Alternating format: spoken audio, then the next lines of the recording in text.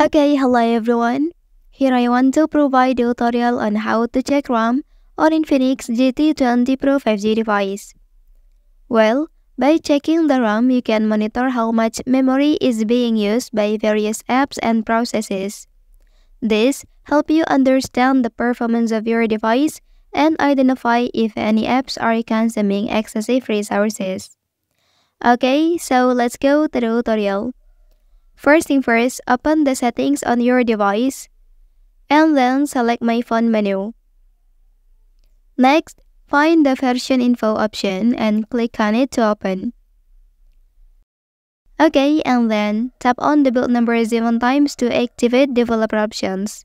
You should see a notification indicating that developer options have been enabled. Once developer options are enabled, go back to the main settings page and scroll down to find the system menu. Okay, tap on it to proceed. And in the system menu, you will now see an option for developer options.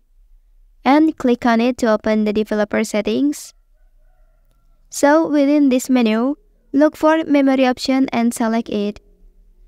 Okay, and here you will be shown detailed information about the memory or RAM usage on your device. By following these steps, you can easily access and view the memory usage information on your device. Well, that's the tutorial on how to check RAM on Infinix GT20 Pro 5G device. If you are helped by this video, don't forget to like and subscribe to get other information from this channel. Thank you.